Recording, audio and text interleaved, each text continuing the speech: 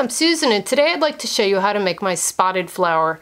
It's actually not a really difficult cane but it gives a really cool look and it'll change up all your flower petals and you can make pods and all sorts of other little decorative items using this same cane. So let's get started. So I'm starting out with these colors. I'm using two of the purple, four of the blue, and three of the green. And I'm not starting out with the normal triangle that I did in my last video because there's lots of ways to make a Skinner blend and that was the easiest way to show you with a single package and starting with a square. This is the teardrop method and the teardrop method doesn't always give you as nice of a blend. Sometimes you have to fiddle with it but I'm going to show you if we have a problem how you fiddle with it. It's pretty simple. Now, even with the other Skinner blend, you can have blends that you just don't like the color combinations you picked. You can still switch them around. You can add more white, you can add more yellow, you can add more of a certain color if you don't find it heavy enough. And that's just part of polymer clay. So things are not always the same tone amount. Like this was mixed with a little bit of translucent clay, so it may not be as strong as the purple. And your color um, blends don't always come out as even with polymer clay as they do with paint. So it takes a little bit more play. But don't let that upset you. Just keep going on, and if you find that maybe these colors are too dark, we'll add some white to them. There's other ways to alter your colors. Don't get upset if you're not loving it. Now I'm just going to take a roller and roll this out. And the reason I'm rolling this out is it'll go through the pasta machine easier. Now you can continue to roll it so that you could fold it over when you put it in the pasta machine. But either way, I'm just going to put this through my pasta machine on a number one, which is my thickest setting. Now most pasta machines have a way of pushing the clay over to one side a little bit higher. Sometimes it'll be the right, sometimes it'll be the left. Every machine's a little different. So if you find that it's getting larger and more stretched out on one side, just flip it over next time you put it in.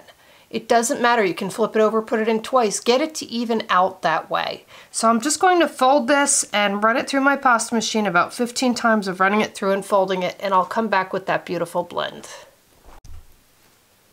So I'm back with my beautiful blend and if you didn't like this, maybe you thought it was too dark, you wanted a lighter shade, you could take a strip of white, put it on top of here and reblend this and get this a lighter shade. So don't feel like, oh no, what did I do? If you felt that you needed more green or more yellow, you could add a piece of yellow here, a piece of red here. Whatever it is that you want to switch around, you are not married to this. This is only the final say if you like this. I happen to like this. Now another trick I use is I have a six inch opening on my machine and this is not as much clay as I usually use. So I put a little magnet and I have several of these hematite magnets. They were from my kids when they were younger, but you can use any kind of magnets, refrigerator magnets, you can cover these with clay if you want, whatever it is to make that opening smaller so that I don't have this extra part of the machine and it starts to leach over and become this long kind of wonky piece, it's easier to just use magnets. Now you can buy these from some companies, they sell them, but these are basic magnets you can get anywhere. If you have refrigerator magnets you don't use anymore, that'll do the same thing. So to take my clay, just as I do with the brushstroke flower cane video, I am just going to fold it over on itself. And I am going to run this through the pasta machine on my thickest setting longwise. So it'll go in this way and come out in a long strip. And then I'm going to put it on a number three. So I get it a little thinner. So I will come back with that. And I'm back with my long piece and all I'm going to do is fan fold this. Just an accordion fold back and forth. There does not have to be a particular width or size whatever you feel comfortable with. All we are doing is manipulating the colors.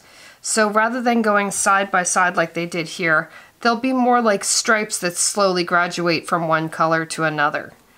And it's just a different way of manipulating the clay. So when you want it to change its form, you can fan fold it, you can spiral fold it, you can do it all different ways depending on how you want that color to change. And you can see you'll get it just to go into a block now where some people call this a plug. A plug is just a block of clay that I'm not sure why they call it a plug, but Some people want to know the terms and I don't know half the terms for clay. All I can tell you is that most of the terms for clay are named after people who discovered them and so that's why it's confusing on what a Skinner blend is. A Skinner was designed by Judith Skinner and so it's called a Skinner blend and all it means is going from one shade to another with the clay. Now I am trying to get this into a long skinny piece.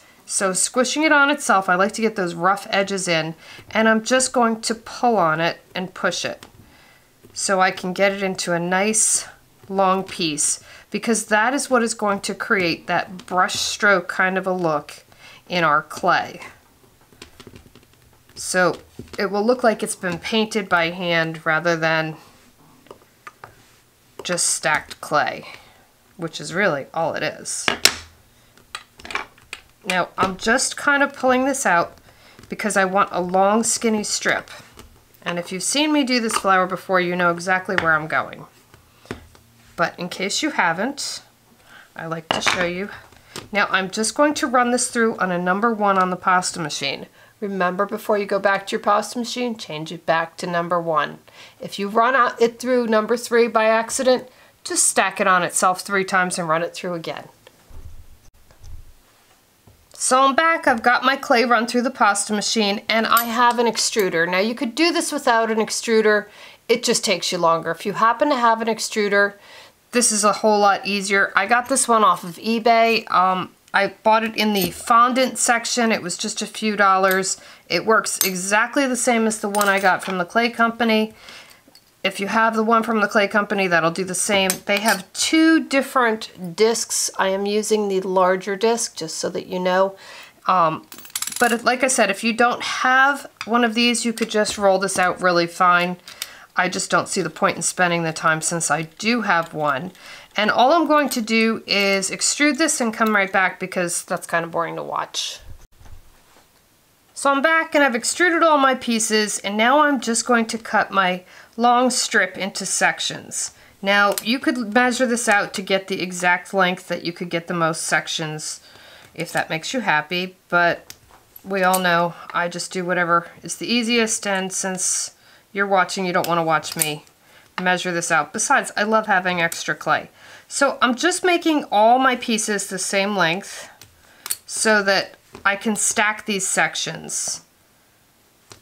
And it's very simple to do this. Just follow from one to the other. Don't throw this extra piece of clay out because you know we can make beautiful stuff. I've got lots of other videos. Now I'm just going to take my piece of clay and I'm going to take my little strands. And I'm just going to put my strand, let me make sure I have an overhang on both ends. And I know it doesn't really make a whole, whoops, stuck to my finger. It doesn't make a whole lot of sense while I would leave this overhang until you see me do this once and then you'll understand completely.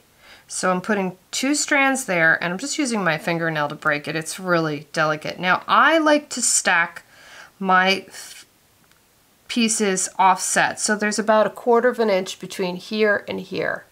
And I like to do them back and forth and that's what gives the brush stroke effect. Now I want to add another spot because these are going to be our little dots in the middle. And because I left that overhang, I know exactly where to put that. And I'm going to take my other piece and alternate it so that it comes forward a quarter of an inch and leaves a quarter of an inch in the back. And I'm then going to add my two pieces. And I'm just going to continue altering this and that's how I get my little dots in the cane. Now, if you wanted them just in one part, you could just put the spots in one part. If you want more of them, you can just add more. It doesn't matter. This is your fantasy and it's what you like. I'm just showing you how I get there. And so I'm just putting that one in there. Now, I do find when I put colors in these, they have a tendency to disappear. So it has to be very contrasty because you will be amazed how small these dots get once I start to reduce this. And you may find that it's better to just roll the clay out by yourself and not even use the extruder. So it's personal which one works better for you. Now I'm just going to cut this in half. And I want to put one last dot in the middle here.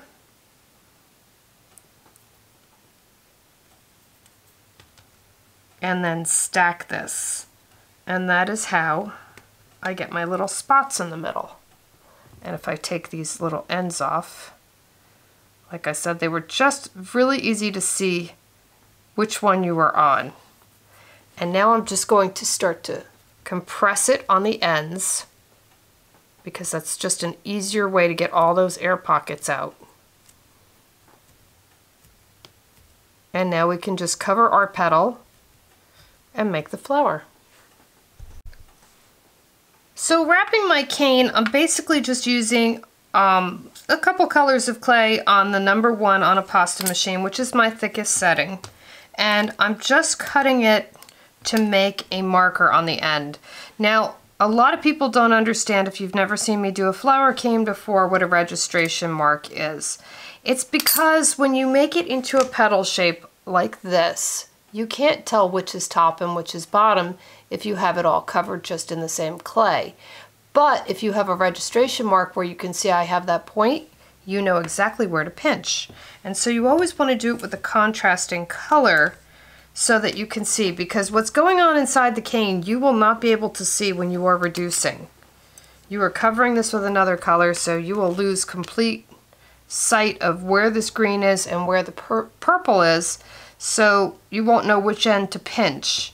And that's just an easy way to keep things straightened out for you. Now, if you press the clay to itself, you'll get a little registration mark, which, whoops, I cut the wrong one. Um, will just show you where to cut. Now see I cut the wrong one there? Not an issue. Just cut the next one over and it fits right in there perfectly. I like to see that you see I make mistakes so when you make them it's not a big deal. Just keep going. It doesn't matter. It won't affect the outcome. And that's really all that matters. So I'm just trimming the end and I just have my cane wrapped like this I have to move that out or it'll keep focus on on that. Now all I'm going to do to reduce is you see I've got the folds in this direction. I want to go and squeeze the air out between those folds. That's the first place I want to get. So I get rid of all those air pockets because the air pockets are not our friend. They are the problem that you will find little gaps in your canes and if you wonder what that gap is, it's an air pocket and it'll look like a black or a dark line. Now you can kind of stroke them out with your finger or a pencil eraser or a clay blender, but if you can avoid them to start with, that's really your best bet. So I'm just trying to reduce this down to at least the size of a roll of quarters before I roll it on the table. Because if you don't get all that air out, the clay inside will distort and it'll move around quite a bit. Now I've got it small enough I can roll it on the table with some minimal pressure and it'll start to reduce a little bit more. Now some people don't like cutting this these ends off. I like to cut them off because these are fantastic for making lentil beads, lentil leaves, um, Natasha's, folded focals, all sorts of different types of beads. I love to make with those ends, so whatever you do, don't throw them away. They're very precious to me. Now, I'm trying to make this into the shape of a triangle. And you could wait until you got it smaller, you could use it larger, whatever size suits you best. This really depends on the strength in your fingers. It takes a lot of strength to squish this down. Polymer clay can be very thick and strong. And the more you do this, the more you'll develop some strength for sure. And I am just pushing down the different corners until I get a beautiful teardrop shape, which I can use as my flower petal. Now I can also use this on canes for pods. If I want to make those pods, I have a separate video on that. In fact, you may want to go through all of my videos if you're new to my channel because you'll find so many things you can do with these flowers or even just petal canes that you may be a little bit overwhelmed to start with, but trust me, your creativity will just start to explode. Now, all I'm going to do is cut the end off here And I'm cutting right where this clay stops. You can I want you to see this a little closer. See where that clay is still not blended there? That is where the cane really starts. And before that is just a messy spot, so you want to put that in your little dish for later. And I am just going to cut five petals. You can cut six petals, 10 petals, whatever makes you happy. I'm making them all equal. You could measure this out, but I do like to have extra cane left so that I can create pods and other things. And this is just a little bigger on this side, so let me reduce this down. But you can do so many things with just one of these canes. You will be amazed. You can decorate so many things. You don't want to use them all up on flowers because then you won't have any other matching pieces. And I only need one more, so let me just measure that, which would be about there. Now, for the center of my flower, I start out with just a bullseye cane. And the bullseye cane I then reduce down to this. And I have had a lot of questions of how do I do that. Very simple. I just take it and reduce it down and this does not matter if you roll it on the table once you get some of that air pocket out.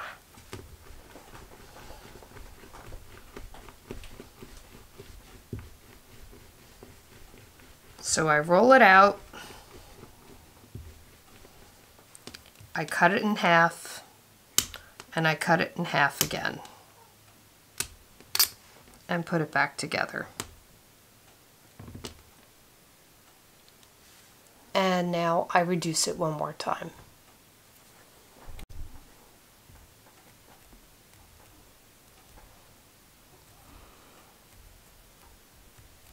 And so as I reduce it down once again, I can roll this on the table. I don't mind if this distorts. It gets so small that nobody would really see if it distorted or not. So it's not really worth your time to spend too much time on this. And once again, I like to cut these ends off because they really just distort your canes. Cut it in half, cut it in half again. There you go. And now you reduce this down and that becomes this. This is the exact same thing. This is just the smaller version so it looks a lot more complicated. And all I'm going to do is roll this out a little bit smaller so that we can put it in our flower. Now, sometimes these points can get in the way, so I just like to take my finger and just push them down. It'll make just enough room for this flower center to fit in perfectly. And I just need a little piece here. So we'll just get it there. Now the flower center has a tendency to reduce the least and the petals will reduce the most on the edges. The outside of your, your cane will reduce more than the inside. So I always do my center just a little bit smaller than I really want it. Now, of course, this does not fit perfectly. Not an issue. Just push it in a little bit. See? There we go. Now I flip my cane over and on the other side it doesn't match. Well, this is where you've got to just line things up and push them in and make sure it all matches before you reduce it. Otherwise that petal will stay in that odd position. So just pull it out and make sure it's lined up on both sides. Because once this clay starts to reduce, you can't move that. So there we go. We have it perfect on that side and perfect on that side. And now all I do is reduce.